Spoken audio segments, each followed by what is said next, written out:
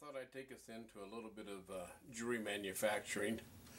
Uh, we uh, have on hand about, I'm going to say 3,500 to 4,000 molds. And they're all various kinds. They're ring molds, uh, wedding set molds, or channel set molds, or single solitary molds. That all make wax molds, and the waxes are all cast into either gold, silver, platinum, what whatever you choose. Uh, most of the time it's 14 or 10 karat yellow or white gold. Uh, rose gold is becoming uh, very popular again. Uh, for years no, nobody wanted it. Now it uh, seems like the, the younger generation are just wild about it. So these could easily be casted into rose gold. I'm going to take you through a few steps of how manufacturing facility like ours can uh, run, uh, you know, two or three thousand molds. Uh, this is just a small setup here, uh, and uh, we're not using the vacuum injector right now. So, but to show you how it was done, we set this this wax pot up, and uh, and so we can give you an idea of how this is all done. Now, over here a little bit, there is a box of molds and there's oh, I don't know a couple hundred boxes in the back room, and uh, all these are numbered. And uh, what what we can do with uh, with those is we can list them. Now we list uh, wax mountings because we're we're selling wax mountings on our website now, so it uh, is a little takes a little time to understand how it all works. Uh, we're, we're set up to run, uh, oh, we can probably run three or four hundred waxes a day if we wanted to. And uh, but to actually categorize these for the website and uh, do a photography uh, picture of them and try to get any quality at all, it uh, takes quite a while. Incidentally, uh, to make a mold, it requires uh, either a, a metal wax carve or metal carving or a, a wax carving of the item which you want to make a mold of. So the first first mold is about 20% larger than what you really want. And then when we uh, cast that, it shrinks a little bit. We cast it usually in sterling silver. And then from there we finish it off so it's uh, perfect. And then we make a mold of that, which reduces it another percentage mark uh, in, in shrinkage. And then when we re-inject that mold, the rubber mold, uh, it reduces it again. So there's there's three shrinkage, shrinkages uh, before you even get started with one. So you have to remember when you design a, a ring, uh, such as ours, you have to uh, make sure that you're about 20 percent over what you want to end up with. So if you're using a two-point diamond, you got to take the head size at, at about 20%. And uh, by the time you get all the shrinkages in there and then the final casting, you're going to be about right. So I know this is a little junky up here, but it was the only place I have to, to really do the shoot right now. So here we go. Yeah, poor old Mike. So we'll come back over here to the wax injector. Now this is just a simple little wax injector, and we used it a lot and when we first got started, that was 20 some years ago. And uh, I always wanted to be in the manufacturing business and the jewelry and didn't have any clue as to how hard it would be and uh, how many how many hundreds of thousands of hours it would take to uh, achieve it. Uh, a lot of our uh, molds are rubber molds that make these wax mountings and then of course those are cast into whatever color you want in gold. Average about 40 to 50 hours worth of work. To carve one, get it casted, turn it into a, a working mold, rubber mold, and uh, then uh, get it out to a uh, to a, a final uh, casting that you could uh, sell in your stores. So bear in mind that uh, this took years and years to do, and then we also bought a lot of our molds we bought a company in New York. We bought part of their mold system out, and so we acquired quite a few molds that way too. So, uh, a good clean wax is what you're always striving for. And if you don't get a clean one, then it takes, once again, a lot of time to uh, clean them up so that they're ready for casting. So to uh, shoot a picture, now this is this is the solitaire uh, mounting basically. Uh, so it only holds the um, the center uh, head would fit right in here where this little lump is, this little casting is. You'd drill a hole through that and then you would uh, weld, weld a head in. And this would be a, a kind of a single stone uh, wedding set. And uh, you can see it was designed so that we could uh, do a variation on it if we wanted to. And uh, this particular one here is a, would be an excellent uh, rose gold cell. Uh, it would be a, within tolerance where you could afford to buy it. And, uh, you know, you could use, oh, a 15 to maybe a half carat uh, head in this and would really look sharp. So this was an injection and uh, I'm going to show you how these are done. So we use a, a low pressure or you use a, a vacuum advance. But uh, for, for today's practical purposes, we're just going to use a, a regular little wax injector with pressure. So you use two plates and you make sure that you're nice and firm, but not too firm. And you run it in and you see that the wax has uh, been injected into it. So this is part one of the of the wedding set. And here's part two of that same wedding set that you just saw. And uh, it's pressurized to about, oh, looks like about a quarter, maybe a quarter of a pound of air pressure.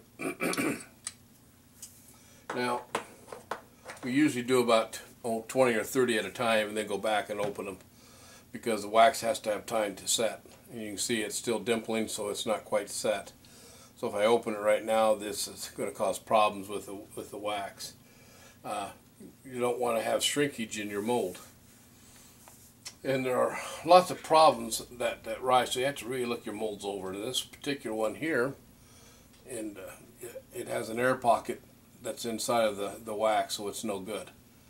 But it's good enough for us to go ahead and shoot a picture of it and put it in our uh, wax catalog on our website at mybenchjeweler.com. So we sell these uh, wedding sets for uh, roughly, uh, I think they sell for three dollars a set when you go to wedding sets, and uh, 85 cents for single mounts, and a dollar twenty for ring mounts. So miscellaneous stuff. You'll they're all on the website. But all right, let's go ahead and open this up. Okay, and there's your there's your uh, centerpiece. This will be the where the the uh, engagement stone would set right down in here like that. And uh, then the next mold will be the uh, wedding band, the band itself. So we'll go ahead and this is opening it. So air compressor.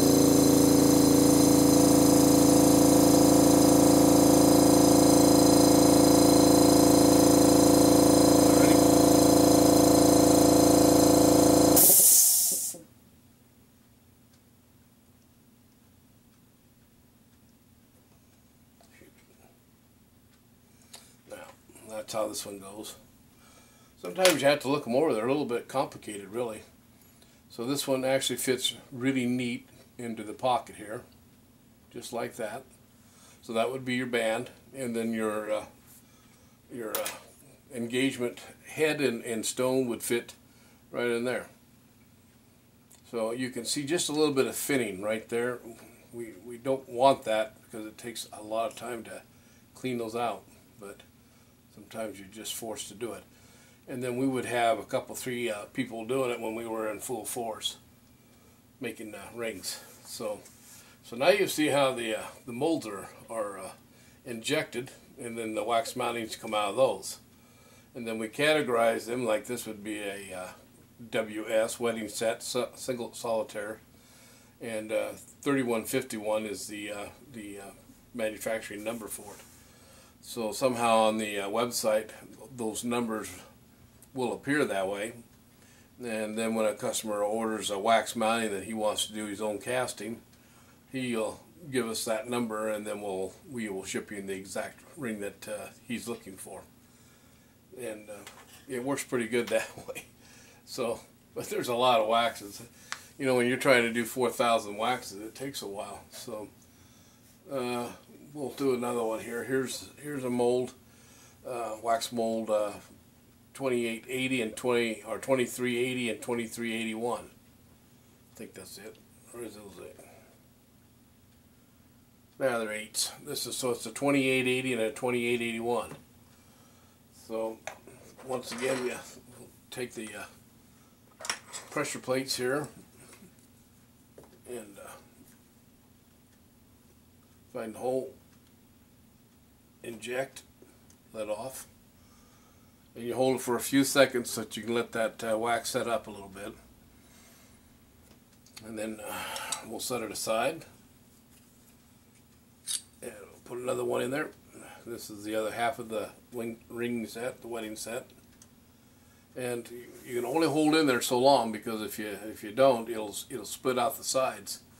And then you now you ruined all your wax. And we we salvage this wax. Uh, we try to keep it clean, and then put it back in the in the wax pot as we as we uh, need it, and uh, works pretty good that way. So we don't lose a lot of wax. And uh, if it's if it's a bad casting or it gets dirty in it, well then we just throw the wax away.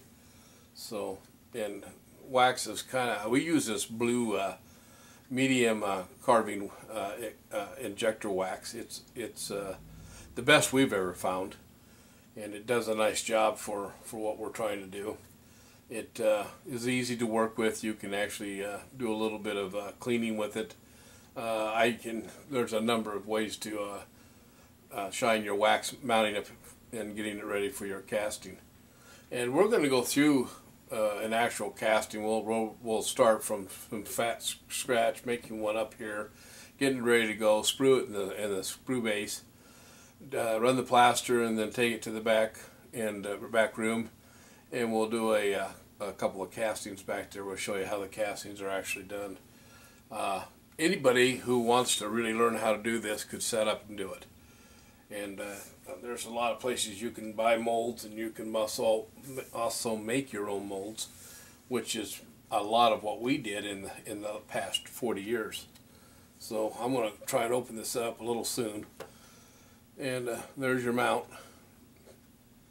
And uh, this would be the wedding band of that mount. See how nice those come out? Those are really sharp little mounts. These, are, like I said, rose gold is going in style, so these would make really sweet uh, uh, rose mounts, rose gold wedding mounts. So we'll go ahead and put that one there, and we'll. I broke this one. See it, what happens when you're not watching which way you went. So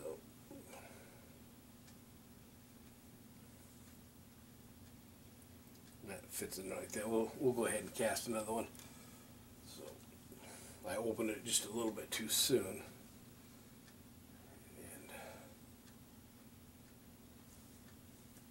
a lot of times we have an X. See what that X is? That means that we should have opened it from this side and I probably opened it from the wrong side. That's why that little X is right there.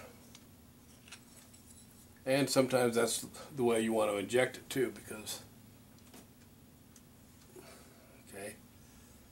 And we'll let that one sit for a little bit. Now we could, uh, let's see. Here's another set. Uh, it's 3040. And it's a two-piece wedding set.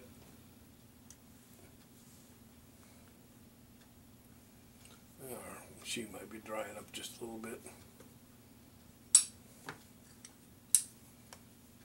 Here we go. Running another one.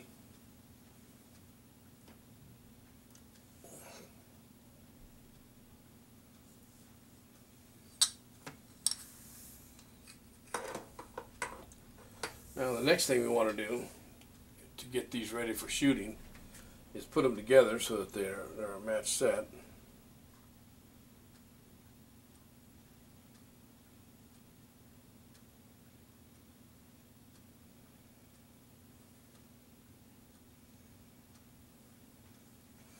Okay, now this is this one has uh, accent stones in it, so you'd have uh, looks like one, two, two little diamonds, and then your your center stone right here. So once again, that's to make a nice rose gold set. And uh, so to get this ready for photography, the next thing I do is I come over here, come in the back side and I go ahead and get these I use this as a little wax uh, pin and uh,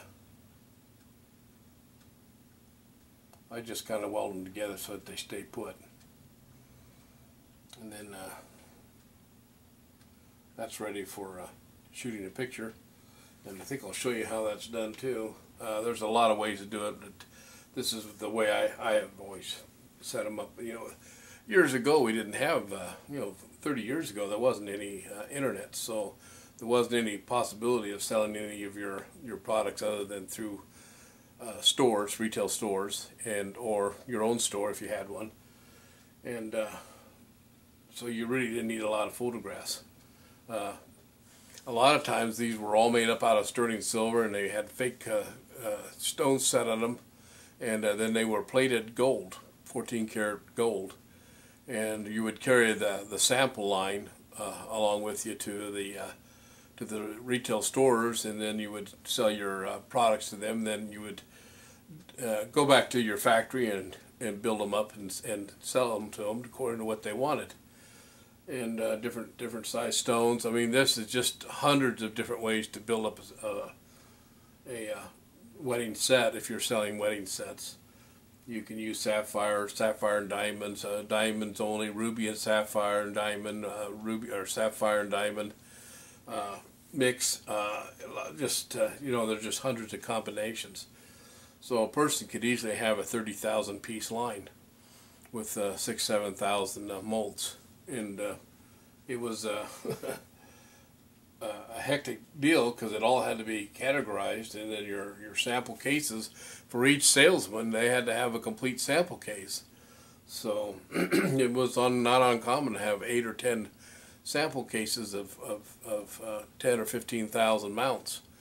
So you can see the uh, the cost of, of, of, putting that together. So anyway, uh, I'll shut down for a minute and go get a fixture and I'll show you how these were shot and photographed.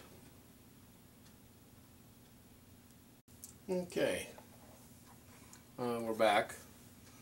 So what I've done is I've used my wax pen, you can see it kind of, it's hot. And we go underneath here and we put a little bit of uh, melted wax on this uh, plexiglass plate, as you can see it. And uh, now we've got and I generally try to put the engagement to the outside and the the uh, wedding band set to the inside. That way you get a, a beautiful picture up here of, of, of the, the where the uh, head's going to go and uh, it's a lot easier to imagine what you're going to uh, look like when you get it done. So here uh, we use a plexiglass block and it's square so when I use a, a uh, photo program. I take in there and I and I square it, do a square crop, and I, I crop it about the size of this this block uh, most of the time, and this sets on a piece of solid white paper, so you're actually seeing through it. And then uh, in the uh, photo uh, processing, we eliminate this sprue so you don't see the sprue, and we white out the rest of this to match to match the uh, white paper. And what that does is uh, makes this look like it's floating in the air. and it's kind of fun to fun to play with. Uh, I'll give you an idea here. And others just you see how it looks, and then we can use a oh a fill uh, uh, fixture or fill on your on your your software program, and this will all turn white. Now the blue uh, it doesn't uh, penetrate the blue, so it leaves the blue ring just exactly as you see it, and then it, it's all around a, a white square base and uh, makes for a nice photograph, but it also, once again, takes an awful lot of time to do it.